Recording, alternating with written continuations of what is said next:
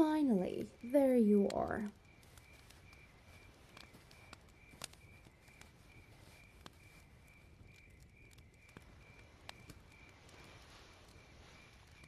I thought I'd find you here. I kind of know the island. We used to come every summer when we were kids. I see that not much changed. This place is still depressing. And what are you doing here all alone?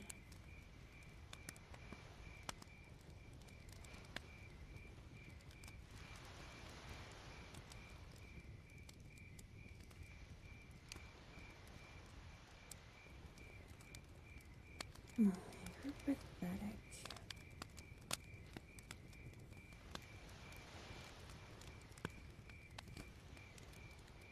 Nothing. I guess I don't want to go back either. At least just yet. I will seriously get sick to my stomach if I see one more guy flirting with Ty Lee. Those boys don't like her because she makes it so easy for them. She's not a challenge, she's a tease. It's not like they actually care who she is.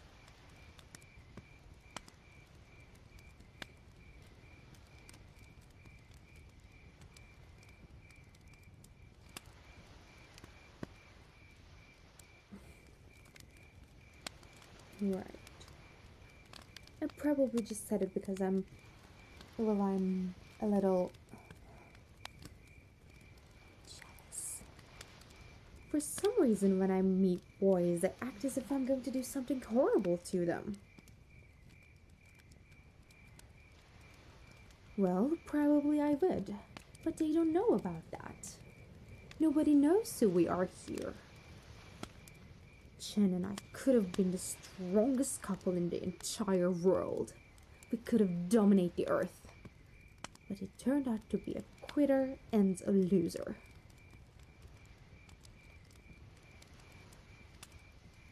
I'm so used to people worshipping us.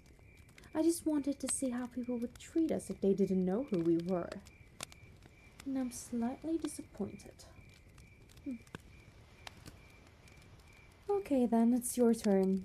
What actually brought you here? It's not like I want to hear, but anything is better than the so called party. So I will listen. You go ahead.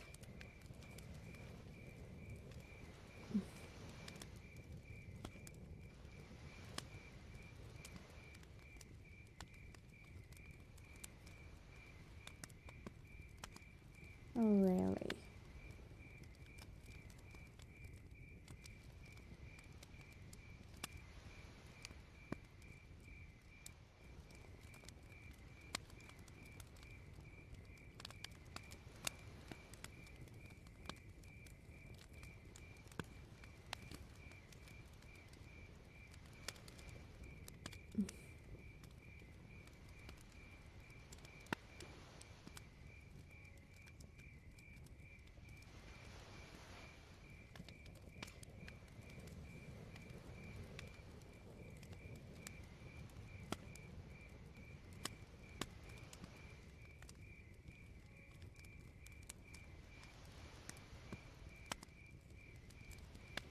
I can't relate.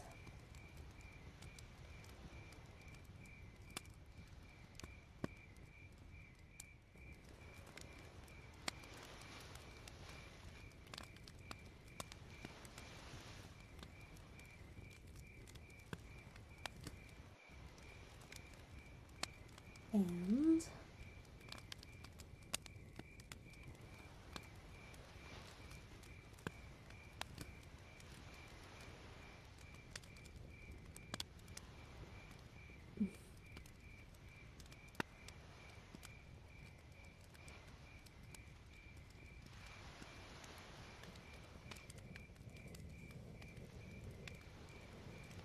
wait, is that it? I still don't see why that makes you so upset. You shouldn't even care about it at the first place. I bet it's just your insecurities acting up again. Mm. Well, I guess you're right. I wouldn't understand. Because I don't have insecurities or sub stories like all of you. I could sit there and complain how our mom liked Zuko more than me. But I don't really care. My own mother. That was a monster. She was right, of course, but it still hurts. She was kind of the only thing I couldn't succeed. Her attention and love were the only things I failed to get. Don't get me wrong, it's not like I wanted or needed any of those things. I'm a firebending prodigy. Why would I need such foolish things? What I don't like about it is Zuko did have those. My good for nothing brother somehow managed to make that lady like him, but I couldn't. I don't think it's my bad though. She probably just related to him on being weak and pathetic. Yes. Obviously, she was pathetic. What kind of a mother do you think leaves her children behind? Not a good one. Well, I assume she wasn't a good mother back then, but even I was surprised when she left without saying a thing overnight. Hmm. Hmm. But she did talk to Zuko and told him how much she loved him. Well, that didn't stop her from leaving him behind either. At least she said goodbye to him. I mean, Zuko told so. I believe he was telling the truth. Lying is not really his thing. He can't even have a conversation without getting caught up by hysteria. Lying would be too complicated for him. Him and Uncle Iroh keep bringing shame to the Fire Nation. During the war, Uncle Iroh found out his son died and just fell apart. A real general would stay and burn the Ba Sing Se to the ground. But his tea-loving cookiness lost the battle and came home crying. Glad he didn't end up being the Fire Lord. It's not like he could have stand a chance against Dad.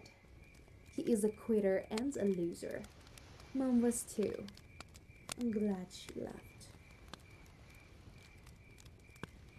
I get to have a lot of fun with Zuko. Without his mummy, days were pretty difficult for him in the palace. Good thing that taught him a permanent lesson on his face and exiled him. But since we're on good terms with him now, I will stop telling you how deplorable Zuko is. And back to your problem, I guess. Never forget what you are. The rest of the world will not. Wear lacking armor so it can never be used to hurt you and better embrace your insecurities soon. You seriously are the only person who sees them. If anyone told you you're not good or enough, believe me, they're no better. And I wouldn't hesitate to bring them down if needed. Understood? Let's back now. I'm bored.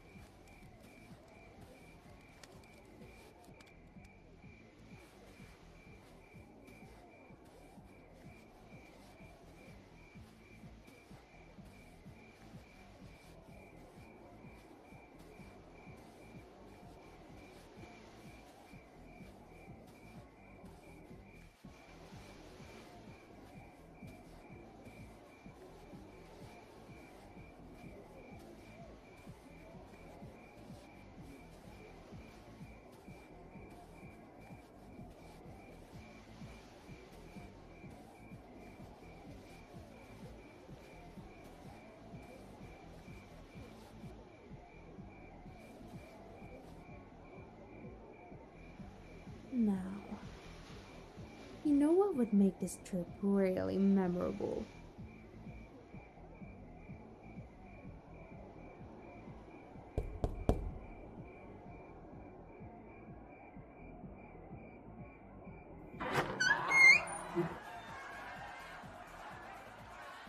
We got some bad news, Chan.